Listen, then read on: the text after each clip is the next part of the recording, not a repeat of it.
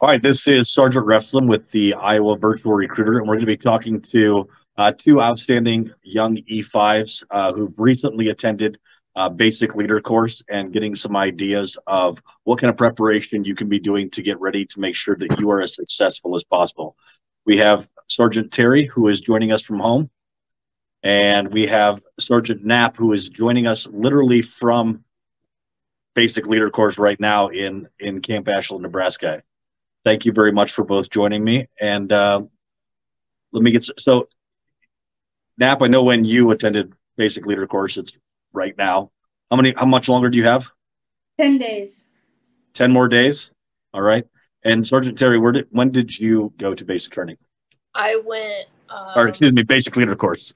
I went uh, March 10th and then graduated April 1st. okay, so just a couple months ago. So both very fresh as far as their experiences. Um, and I'd like to just get some ideas of of what were your expectations going into the course and and what changed when you when you got there. We'll go with uh, Sergeant Knapp first. Uh, well, I was not prepared at all because I got a one week heads up, but it's not as crazy as I was expecting it to it's pretty stressful at the beginning, but it's still really relaxed. Like we get done like five o'clock every day. Like we're completely released for the day. There's no no one in charge of us. We're just in charge of ourselves. Do whatever. Pretty easy. Yeah. Or is there is there a lot of homework assignments or things you guys prepare for in the evenings, or or do you uh, pretty much just hang out and do whatever you want? So right now once I'm done with this, I'll have to work on my um, public speaking brief because that's on Thursday, so end of the week. But that's probably the longest break we have in between assignments.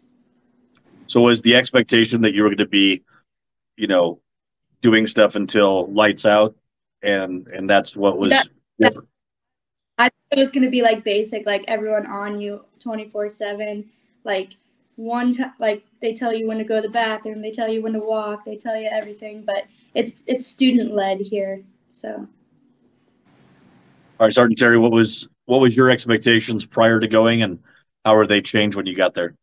I thought it was going to be a lot more stressful. Everyone that I asked about BLC did everything online because of COVID, so it was kind of hard to try and get an ex- expectation for how it's supposed to be, but everyone that went, you know, five years ago, it seemed a little bit more stressful. But then once I got there, um, the first day they kind of acted like drill sergeants at Fort McCoy, and it was kind of a surprise. But after that, it was student led. So um, really, the only thing that was stressful was the the load of assignments and how quickly like you run through different assessments and how little time you really do have to prepare. So I don't feel like I was prepared at all, really. So it, I felt like I was starting from like step one instead of other people. I was, they were a little bit ahead of me on certain things like PRT and DNC. But other than that, once that like first week went by, then it was a lot more calm.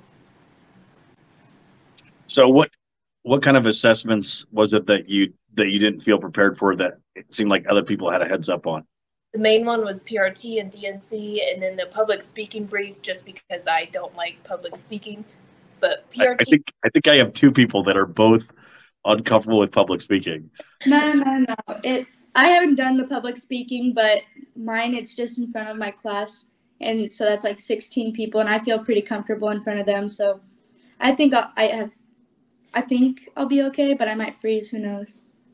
And I think one of the things that you mentioned before you left was that you were concerned about the the PRT. Is that is that near the beginning or is that PRT and DNC are at the beginning and that our instructors said once you pass those that you should be good because that's where they lose a lot of people. We had one person from my squad go home because he didn't pass DNC. You have one chance and then if then you'll have another chance. You can only it's like the ACFT if you do like an alternate event, you can only get the minimum. So you get two chances and then you're gone. Like he was gone the next day. It's very fast. Okay, so let's let's just let's just hit on a a quick timeline. So the first thing that you do when you get there is, I'm guessing, was it APFT or was it ACFT? We didn't take any. We You we didn't did have to take. we did the ACFT just so they could get numbers. It doesn't affect if you graduate or not, but they can like like if you're not trying, they can dock you because you get graded on like participation. yeah participation. But I don't even remember. Here, let me flip through my notebook real quick.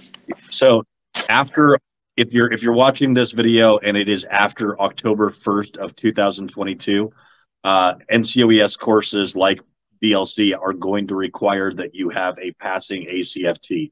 So if you're watching this video and it is and the graduation date is going to be after October 1st, 2022, make sure that you are prepped and your unit has given you a uh, test to make sure that you're ready to go. Same thing with height and weight. I'm guessing that is something though that Yeah. people were You if you if you don't pass the on day zero, then you have to retest on day fifteen. Oh, really?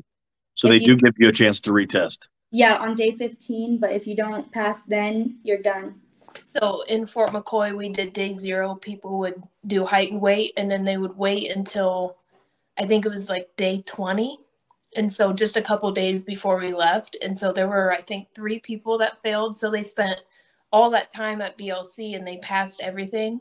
And just because they failed height and weight the second time, they couldn't graduate and get promoted. So make sure you're that. Yeah, because your unit is going to be upset that they spent that money, and usually that's the responsibility of the unit to make sure that if people are going, that that they have yeah. that they're at the point that they need to be before they go. Yeah. Um, so, Sergeant Terry, what was what's the first couple ex, uh, assessments that you have? Like, what's what's it like when you first get to McCoy? Was was it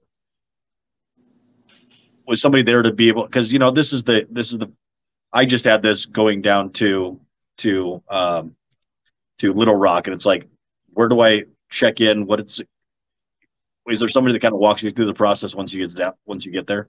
Yeah, so once I showed up, like you could see there's there's a line of uh, soldiers into the like in processing part, and they had like stations that you would go through. So it was like supply S one.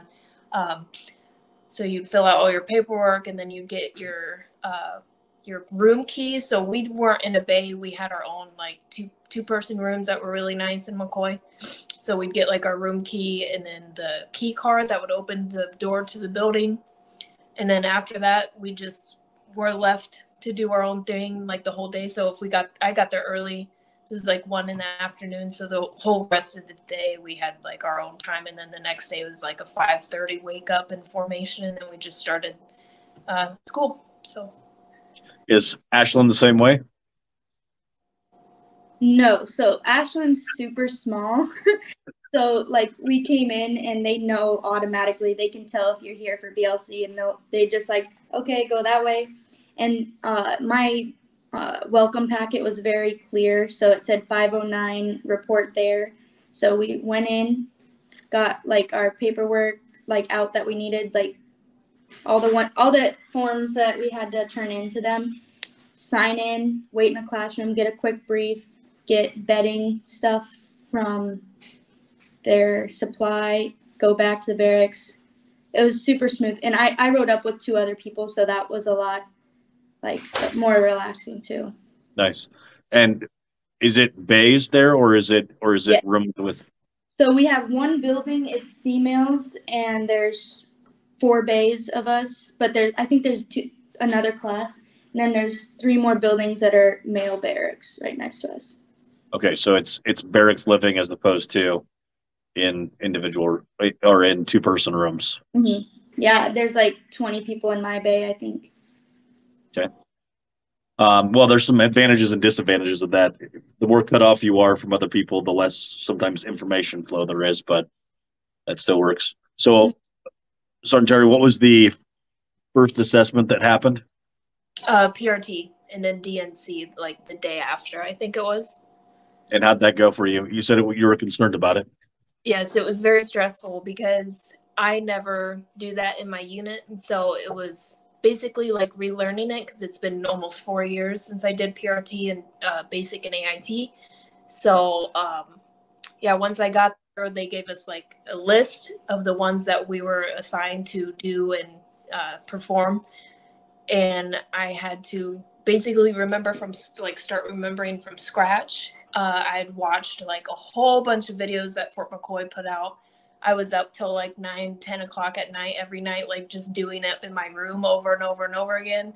Um, we had, I think, two or three days of practice, like with our actual groups that we would do it with. But then, like after after the normal day they would give us you know time to do whatever we wanted. So you could get together with your groups outside and practice on your own time.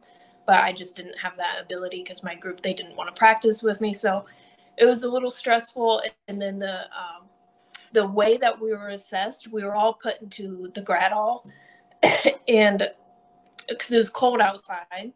And so there was like 10 other people getting assessed and I had a group of three people. Everyone had like four people total in their groups. I had a group of three people. So all these people got shoved into one room to assess. And so like it was very loud and like I'm the kind of person where I need it completely silent for me to like recall everything. So it was very stressful. But I think if you don't try and you really just, you know, are lazy about it, then you would fail. But I think it's pretty hard for them to fail you unless unless you really mess up on it. But it wasn't something well, staying, that I staying out. up until staying up until 10 8 10 p.m. trying to study for it really can help. What would have been the best way to prepare if like somebody was going and you're like, hey, you should definitely prepare this, like how would you want them to prepare?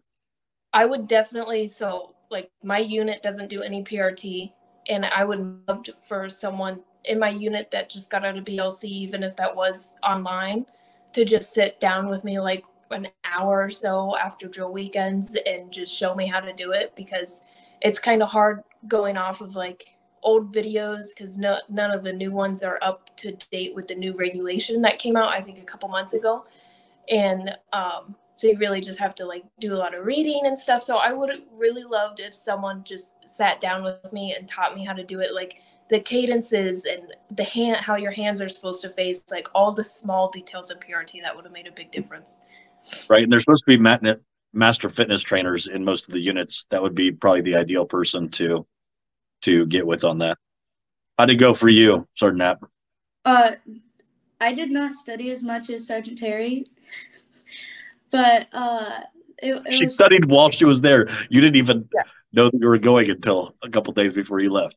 Yeah. Uh, so DNC, I was extremely nervous. I thought it was just gonna be like forward march, like commands like that but like you have to inspect your squad and i'm like i've never done this like even at basic so i literally was learning it for the first time but i passed first time first try but it was very stressful and then P- prt pt um what messed me up most is a bunch of the active duty people that are here the, there's certain phrases they'll say change positions like with a s I wasn't used to that, but they are saying that, and that got me docked because I got used to saying it cop because I'd practice with some of the active duty people, and it's just little things like that that it's verbiage and hand placement that people get docked on most for PT. Yeah, I mean, active duty does PRT and and marching more often than the National Guard because we don't like to practice stupid. Um, but the so there's definitely some advantage that they have in being able to see it, but you're saying that there's also disadvantages because they have bad habits instead of just going based off of the regulation, like you were t- saying, Sergeant Terry, is looking over here's the actual standards and practicing that as opposed to practicing what you already know. Yeah. Um, what's next? So after we've gotten past PRT and we've gotten past DNC, then it's the sharp essay. And what is that? Uh, like, do I have to explain what sharp is? You don't have to explain what sharp is, but you do have to explain that I went to PLDC back in so 2000. I'm flipping through my notebook because I don't even know what's going on there. Did you have to do a sharp essay? Yes. Yep. I think it was really easy. Um, mm-hmm. We were given like two days to, uh, more, probably more than that, two, three, four days. I don't know um, I'm a good writer, so that's something that I wasn't too worried about.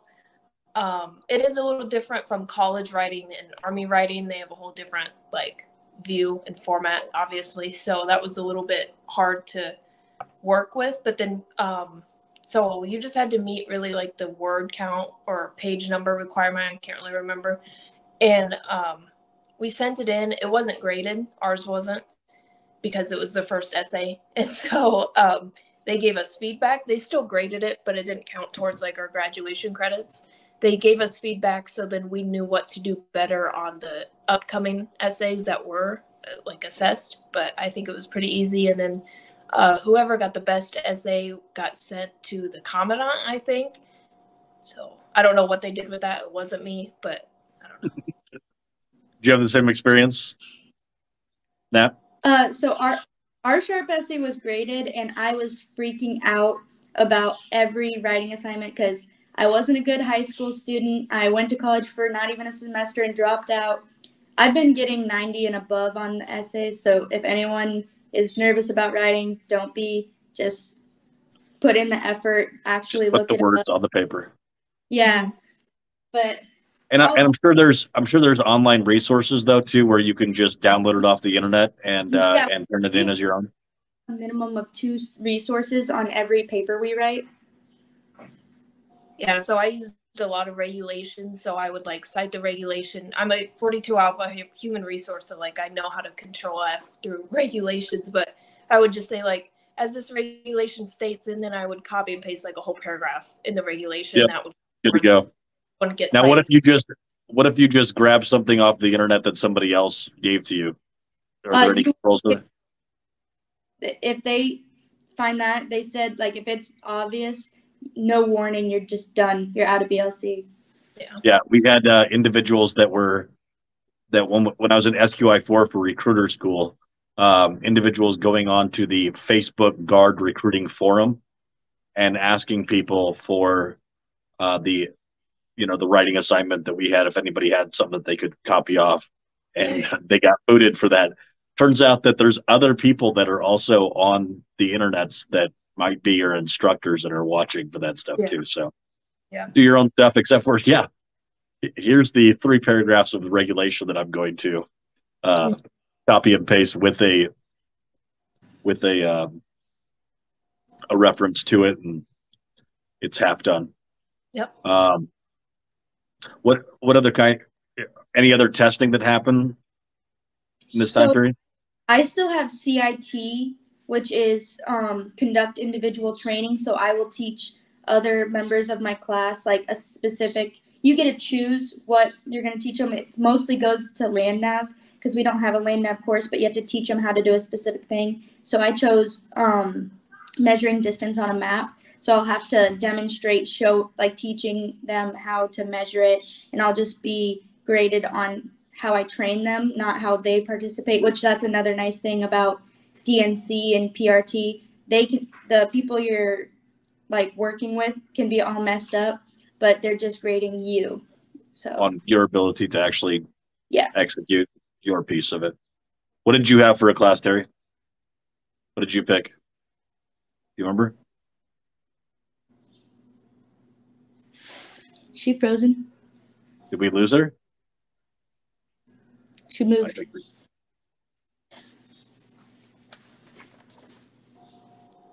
Oh no. Oh, is she coming back?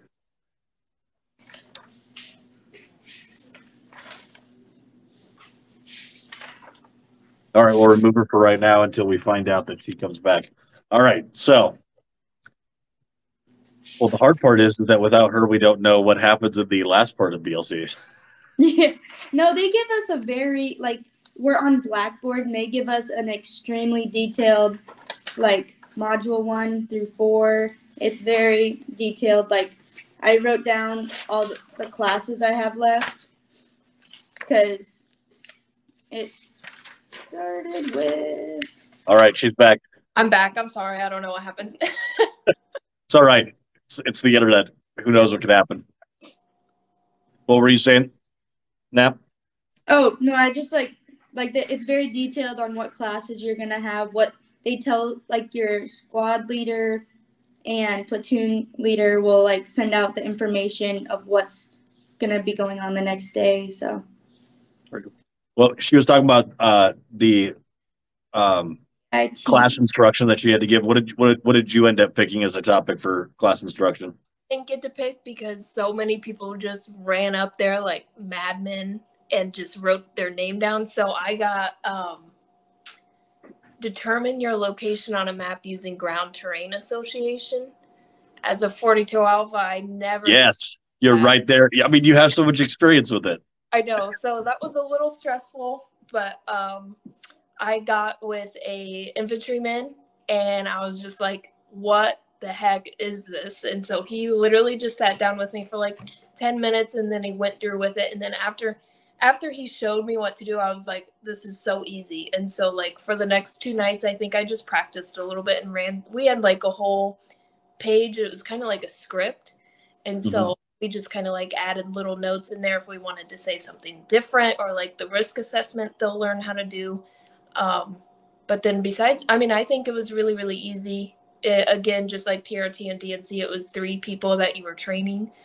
Um, but yeah it was really easy. That was one of my highest scoring assessments and that was something that i've never been able to do before then. So it's not something to stress out about at all.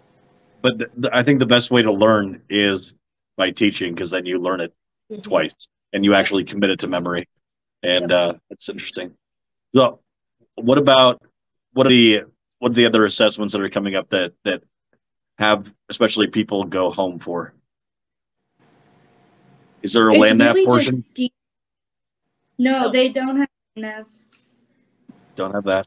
Okay. I think public speaking was the most stressful besides PRT and DNC for a lot of people. I mean, you get to know everyone in your class for two weeks before you have it, but even you think you're comfortable with everybody, and then once you get up there, you have your um, your teachers back there with clipboards, and then you just it gets hit with anxiety and you're like oh my god this sucks. And so for me like i could feel the heat rising on my neck and i just like blacked out once i got up there and it felt like 20 seconds long i still got a good score but i got docked for really really small things um, i didn't change a slide when i started talking about what was on that slide and then obviously uh, the the time requirement was 8 to 12 minutes so i didn't have that because i got a topic that was the last pick topic because I wasn't gonna run up to the board like I was crazy. So I got I got um, legal and the NCO leader, so it was like legal roles and authorities that the NCO has. And so that was pretty hard to research on my own because it's a lot, a lot of regulation digging. And so my whole speech, I think it was like five minutes long, which was actually a lot longer than I thought it was going to be because when I practiced on my own, I went really, really quick but yeah, I think that was the most stressful. But everyone passed in my class. It was something again where they were gonna pass you unless you were just absolutely horrible at it. That's what kind of preparation can somebody do for that? I mean, I there's one there's one thing that I'm uh I'm I'm seeing a a pattern with and maybe being a little bit more assertive and aggressive in going up there for a topic if you want to be able to choose something that you're a little bit more comfortable with. Yep. But then if Also, you have to be comfortable and assertive enough to go up there and elbow your way through to get the topic that you want. But I also think getting the topic that I didn't want might have been better for me because I saw a lot of people that got the the easy topics like responsibility or styles of leadership. They were like two minutes long because they just ran through it and they were so comfortable with it. I had to research. I mean, we did the same topic for our speech that was our um, informative another assessment and um, i mean i researched really really deep for like a whole week straight. And so like i had a lot of stuff and that kind of pushed me out my comfort zone which was good. But i think to better prepare for that it would be really really smart to start speak up really early in class and get used to the people around you because i'm i'm an introvert. I don't like talking unless someone talks to me. Um, but really trying to get out of your comfort zone and talking to everyone in the class right away is the best way to get comfortable with speaking in front of everyone. Because then once those instructors get up there it's a whole different type of nervousness. And at, as long as you can look at the people around you and be comfortable that they're all staring at you then it won't be as bad. Knapp, you had some stuff on that too. I, I haven't done my informative or my public speaking yet, but like my class, I think Wednesday. So today's Monday. I think we're on Wednesday. We're all gonna go in after class and just practice our speeches to each other, so we can like kind of get used to like talking to everyone, like when it's all on you up in front of the room, because they're very strict. They told us like if you sway at all, if you use too much hand movement, dot dot. So yep i just interesting. grabbed onto that podium for dear life and didn't yeah, just and that was it so i didn't get docked on any po- any points for that kind of stuff but So, so when I've I've taught like public speaking and and different types of things, and I think that what's so funny is if you're a if you're afraid of looking stupid, and you get up there and you're just incredibly nervous about looking stupid, you will look stupid. You almost have to go up there with that ah screw it, you know. I'm gonna look like an idiot. I'm gonna do something kind of. I, I Knapp. I could see you going up there and just acting goofy and stupid right right up at the front, so that way you could get it out of the way. I'll just hold the podium. You'll just ride a podium. Well, we have to do eye contact too, so I think I'm just gonna look over everyone's heads. Yeah, don't make direct eye contact with somebody because then you'll end up getting pulled into the tractor beam. All right. What about? Is there a field problem at the end? See, I think that'd be CIT because we're going down. There's a river by us. We just go down by the river, and whatever topic you got is you do that. we did So, it go ahead. we did it in the classroom You did your field problem in Yeah. the classroom. Yeah, uh, some people would do it in the hallways, in the day rooms. I did mine in the classroom because no one else was in there. So, I mean, it was cold. It was Wisconsin in March, but or yeah, but still, That's fair. So, what kind of things did you do for a field problem indoors? just that CIT stuff, and then other people had like react to contact and stuff. But other than there was no other field stuff. We didn't even do any sort of like pure actual PT. So we didn't get to go outside much. We were just either in the classroom, in the chow hall, or in our rooms. Really? Nah, that it's it's a little warmer for you there, sunshine. I'm sure you're going to be outside. No windbreak out here. It is freaking freezing. I hate it. One state over, and it's like I w- we were marching one day, and I literally fell out of formation because the wind blew so hard. Ah, yes, lovely camp, Camp Ashland. All right. Anything else that uh, that we want to say in closing as far as as far as preparation for BLC? I think the Did- idea of Did you want to hit on packing list? yeah, let's go ahead. I mean, yeah. What are some things that that you wish you would have brought that you that that weren't on the packing list, or things that uh, that are uh, areas of note that hey, you've got to make sure that you have these things. Terry, do you have anything? Um, I mean, on the packing list, obviously it says for me to bring like your flick and your ACH because that's for CIT. Other than that, uh, they didn't do a showdown, and I thought they really were going to. And so I brought every single thing that it said on the packing list. Obviously, better to be prepared than sorry, you know. So I didn't end up needing like half of the stuff I brought Mhm. because I was able to do laundry whenever I wanted. So I didn't need to bring four different uniforms and four different PT uniforms and all the attachments for my flick and a canteen and a canteen holder and all that. But I mean, it, it, looking back, it was better to be prepared. What I do wish I brought was more snacks because we weren't Yeah. able to go to the PX for I think the first week, and so and coming from just sitting at home to eating, you know, army food kind of messes with your stomach a little bit, so it's nice to have someone something to snack on. but um, yeah, Did they allow snacks in the classroom, or is it Yeah, they did. As long as you had like a top on your drink or whatever, but and they had vending machines and stuff in there so you could get whatever you wanted.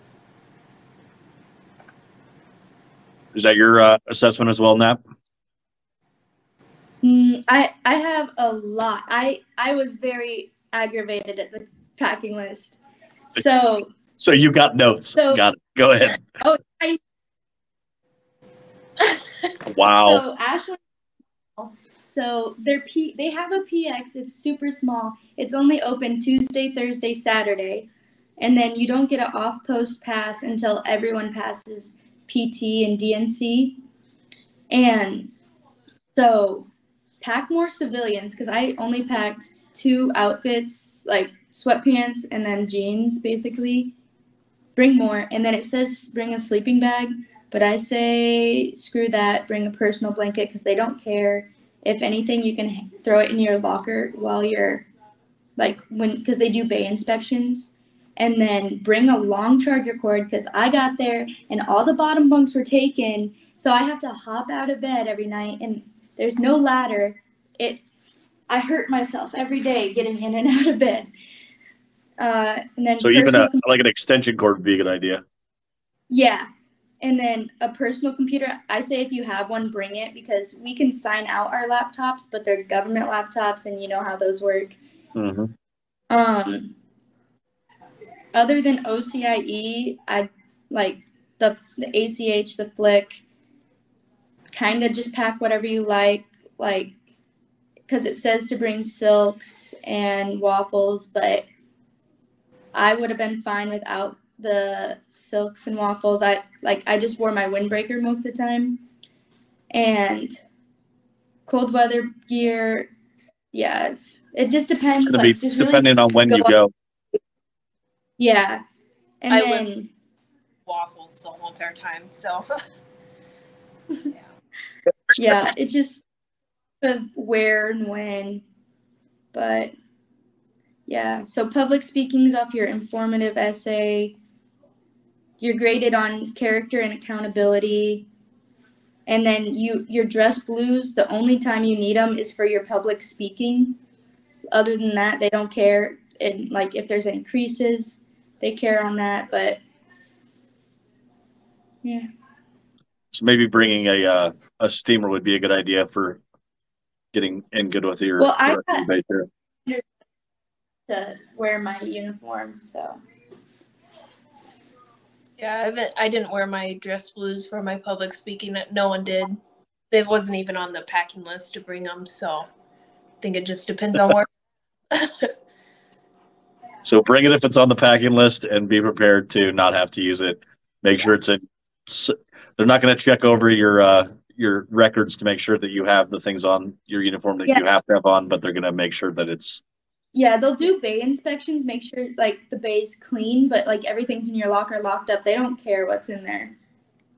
That was the same for us. They would. I think they came in and did room inspections two or three times, and they wouldn't let us know. But like every day, I just put everything in my locker and then made my bed, and it looked. I still had stuff like out on my desk, but as long as it wasn't like my personal laptop and medicine, then they didn't care. As long as it was nice and neat. what uh, just what things got got people sent home for each of you. So I- far, oh, you you can go, Terry. I was gonna say height and weight, and then PRT mainly. Yeah, so Making- far, Making mistakes with the PRT, like not not knowing what they were doing. Far, I'd say we have a couple people that I don't think are gonna pass the second round of height weight. So that, and then um, DNC. I don't know anyone that got sent home for PRT, but then we have someone that's about to probably get kicked for um, character and accountability. because they didn't follow their So sharp essay. No, what- no, what's the- this person like EO complaints, sharp complaints, and we're only we're we're only here for like a month, and we have ten days left, and there's already complaints about that said person, and Are they just very guard or act, are they guard or active duty? active duty 32, and they only sent him here because he was like the last one that like it's at some point you have to send him. There's a girl, her husband, his unit, and he's a dirtbag, like according to her husband. So All they right. Fort McCoy, they measure your attribute attributes and competencies throughout your whole entire time there. So I think it was like every week we would get sat down with the instructor and go over I can't remember the scoring, but it was like 18 to 24, like your character and accountability and all that. So like if you show up late to formation, you know, that score will drop and then you have to like sign it. So they're always watching you. Um within the first week and a half, they like told me I needed to work on my confidence because I'm I'm an introvert, and so they made me a platoon sergeant, which sucked for me, but it helped.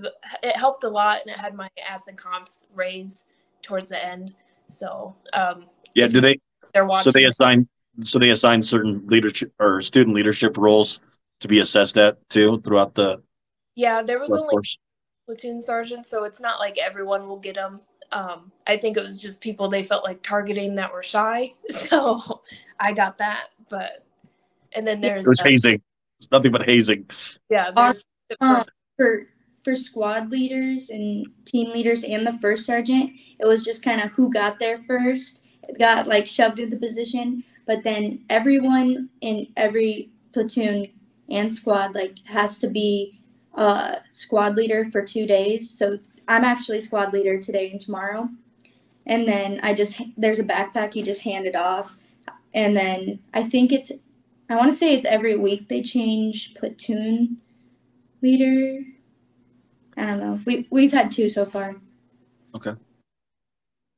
All right. Um, what about if you're looking to get like Commandant's list? What do you have to? You have to score what over ninety percent in the assessments, and then Mhm. I'm guessing that later it'll be also ACFT scores that will come into consideration. Yep. So total for graduation, I think, was 460, and then Commandant's list is 480. Or no, it was 420 and then 480 for Commandant's list. Um, as long as you don't get any negative counselings, then you'll be good. Because if you get one negative counseling, and that can be uh, showing up late for formation, then you'll get automatically kicked off of it. Or height and weight, you'll get automatically kicked off. So if you show up And day time zero go. as height and weight, then you're not on the Commandant's list. And and not getting a first time go, is that what you said? Yeah, you have to first time go because if you aren't, then you only can get seventy points. All right. So just as a recap, be prepared for PRT and DNC if you can. Get somebody from your unit that can that is a subject matter expert that can give you a heads up and make sure that you're looking over the regulation because uh, somebody just oh this is how I do it is is not going to fly when you go to uh, be assessed. So make sure that you're getting the most up to date stuff there. Um, height and weight is going to be a huge consideration. Later, it'll be ACFT as well, and then make sure that you're on time. And you can follow the packing list. That's going to be the best course of action, but make sure that you have uh, plenty of room in your wall locker for snacks on snacks on snacks. Yeah. Yep. Any other big bullet points that you would give to anybody that's getting ready to go? Not Number or when you're doing your papers, you need to knock them out. Like get them done. Yeah. Because so as soon as you get the assignment, even if they give you a couple days, get it done because you don't know what the them time. Only 12 hours until it was due but it was only a 250 word minimum but like just get it knocked out because they'll talk to you throughout class and like you have to do peer reviews and they'll go over it and we throw it through grammarly make sure nothing's um cop not copyrighted but Plagiarism, plagiarized yeah Yep. plagiarism checker. All right. What did you have, Terry? I said to memorize the NCO Creed. I didn't memorize it before I got there. It sounds so small, but it really was important because uh, there was some drama between classrooms that people didn't know the Creed. And so I think it was like week two. Um, they said if we were in formation and they could tell we didn't know the Creed, that we were going to get counselings, which in turn would take you off the Commandant's list. So it's just So- so, so small that can help you and not be as stressful. But All right. Well, thank you very much for for both joining me. Any last comments before we sign off? Nope. Mm, All right. Well, thank you very much for both joining me, and uh,